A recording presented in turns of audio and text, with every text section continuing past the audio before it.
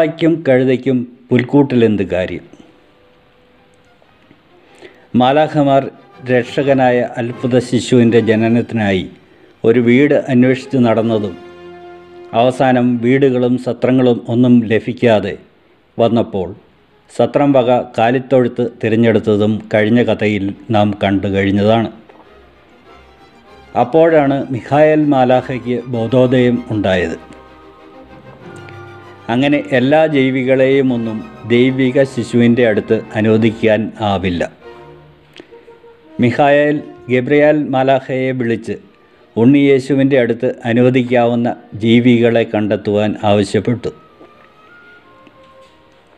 ഇനി വളരെ കുറച്ച് സമയം മാത്രമേ ബാക്കിയുള്ളൂ. പൂർവദേശത്തു നിന്നും പണ്ഡിതന്മാരായ രാജാക്കന്മാർ ശിശുവിനുള്ള സമ്മാനങ്ങളുമായി പുറപ്പെട്ടു കഴിഞ്ഞു. മറിയവും ജോസഫും ഇന്ന് വൈകുന്നേരത്തേക്കോ ഏറ്റവും വൈകിയാൽ നാളെ പുലർച്ചെയോടെയോ എത്തിച്ചേരും. മറിയം കഴുതപ്പുറത്തും ജോസഫ് കാൽനടയുമായും ആണല്ലോ യാത്ര. ആയതുകൊണ്ടാണ് അവർ ഇത്രയും വൈകുന്നത്. ഒട്ടും തന്നെ സമയം കളയുവാനില്ല. ഗബിയൽ മലാഹ മൃഗങ്ങളെയൊക്കെ ഇന്റർവ്യൂ ചെയ്യുവാൻ ആരംഭിച്ചു. ആദ്യം വന്നത് സിംഹമാണ്. ഞാൻ മൃഗങ്ങളുടെ രാജാവാണ്. രക്ഷകനായ ശിശുവിനെ ഏതു തരത്തിലുള്ള അക്രമികളിൽ നിന്നും രക്ഷിക്കുവാൻ എനിക്കാവും. സിംഹം സ്വയം പരിചയപ്പെടുത്തി. ഗബ്രിയേൽ ചിന്തിച്ചു ഇവൻ അല്പം അപകടകാരിയല്ലേ? അതുമാത്രമല്ല ഇവന്റെ സാന്നിധ്യം ശിശുവിനെ കാണാൻ വരുന്ന സന്ദർശകരെ ഭയപ്പെടുത്തിയേക്കുമോ? മാലാഹ സിംഹത്തെ നല്ല വാക്ക് പറഞ്ഞ് അവന്റെ കഴിവുകളെ അഭിനന്ദിച്ചു.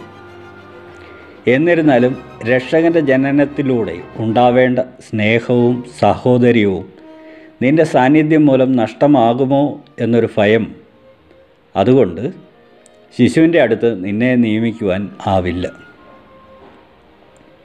അടുത്തതായി വന്നത് കുരങ്ങനായിരുന്നു.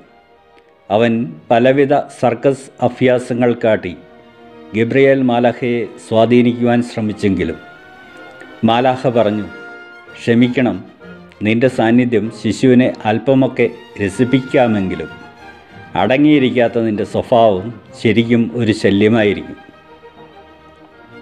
അതുമാത്രമല്ല ശിശുവിനെ കാണാനെത്തുന്ന സന്ദർശകരുടെ ശ്രദ്ധയും ലക്ഷ്യവും നിന്റെ കളികൾ കാരണം വഴിതെറ്റിപ്പോകാൻ ഇടയുണ്ട്. അടുത്ത ചാൻസ് കുറുക്കന്റേത് ആയിരുന്നു. അവൻ പറഞ്ഞു എന്നെപ്പോലെ മിടുക്കനായ ഒരു മോഷ്ടാവ് ഈ ഭൂമി മലയാളത്തിലുണ്ടാവില്ല. എന്നെ ഇവിടെ നിയമിച്ചാൽ ശിശുവിന് വേണ്ടത് എന്തും ഞാൻ മോഷ്ടിച്ചു കൊണ്ടുവരാം. ഇവിടെ ഇന്റർവ്യൂ ബോർഡിൽ ഉണ്ടായിരുന്ന മിഖായൽ മാലാഹ ഇടപെട്ടു. അങ്ങനെ കള്ളന്മാരെ ഒന്നും ഇവിടെ പറ്റില്ല. ഭാവിയിൽ മോഷണവും കള്ളത്തരങ്ങളും ഒക്കെ ഉപേക്ഷിച്ച് നല്ലവനായി ജീവിക്കണം എന്ന് ഉപദേശിച്ചാണ് മാലാഹ കുറുക്കനെ പറഞ്ഞയച്ചത്. പറഞ്ഞിട്ടെന്ത് കാര്യം? ആ സംഭവവും ഉപദേശവും കഴിഞ്ഞിട്ടിപ്പോൾ രണ്ടായിരത്തിലധികം വർഷങ്ങൾ കഴിഞ്ഞിരിക്കുന്നു. എന്നിട്ടും കുറുക്കന്റെ കണ്ണ് ഇപ്പോഴും കോഴിക്കൂട്ടിൽ തന്നെ. അതുമാത്രമല്ല ചില കുറുക്കന്മാർ മാലാഖമാരുടെ കണ്ണ് വെട്ടിച്ച് കാലിത്തൊഴുത്തിൽ വിലസുന്നുണ്ടോ എന്നും അവിടെ നിന്നും തക്കം പാർത്ത് കുഞ്ഞാടുകളെ മോഷ്ടിച്ച് വിൽക്കുന്നുണ്ടോ എന്നും ചെറിയൊരു സംശയം ഇല്ലാതില്ല. അപ്പോഴാണ് വാലും പൊക്കിപ്പിടിച്ച് നമ്മുടെ പൂച്ചക്കുട്ടി മാലാഖയുടെ കാലിൽ മുട്ടിയൊരുമി തന്റെ സാന്നിധ്യം അറിയിച്ചത്. ശിശുവിന്റെ കൂടെ കിടന്നുകൊള്ളാമെന്നും സുഖമായി ഉറങ്ങുവാൻ സഹായിക്കാമെന്നും അവൾ തന്റെ കുഞ്ഞു ശബ്ദത്തിൽ അറിയിച്ചെങ്കിലും മടിച്ചിയായ അവളുടെ കൂർക്കം വലിക്കുന്ന സ്വഭാവം മാലാഹയ്ക്ക് ഇഷ്ടപ്പെട്ടില്ല.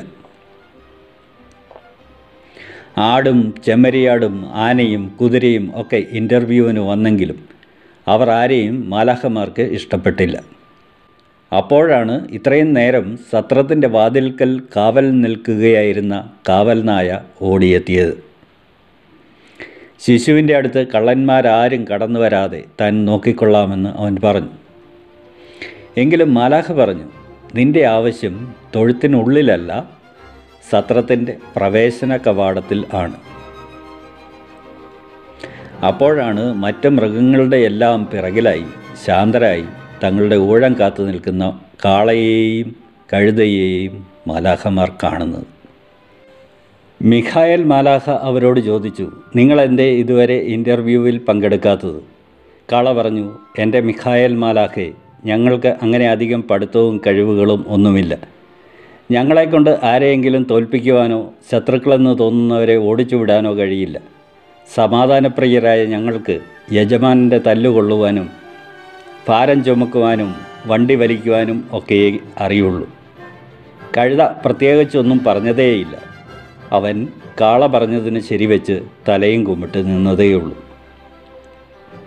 മിഖായൽ മേലാഹ പറഞ്ഞു സമാധാനശീലരും സ്ഥിരോത്സാഹികളുമായ നിങ്ങൾക്കാണ് തൊഴുത്തിൽ ശിശുവിന് അടുത്തു നിൽക്കുവാൻ ശരിക്കും അവകാശം. ഇന്നും പുൽക്കൂടൊരുക്കുമ്പോൾ കഴുതയെയും കാളയെയും നമ്മളാരും മറക്കാറില്ലല്ലോ. അധ്വാനിക്കുന്നവരും ഭാരം ചുമക്കുന്നവരും ആയുള്ളവരെ എല്ലാവരും എന്റെ അടുക്കൽ വരുവിൻ.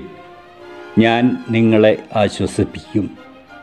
ഞാൻ സൗമ്യതയും താഴ്മയും ഉള്ളവനാകിയാൽ എന്റെ മുഖം വഹിക്കുകയും എന്നിൽ നിന്ന് പഠിക്കുകയും ചെയ്യുവിൻ. അപ്പോൾ നിങ്ങൾക്ക് ആശ്വാസം ലഭിക്കും. എന്തെന്നാൽ എന്റെ മുഖം മൃദുവും എന്റെ ചുമട് ലഘുവും ആകുന്നു. സ്വർഗരാജ്യം ആദ്യം നിങ്ങൾക്കുള്ളത് ആകുന്നു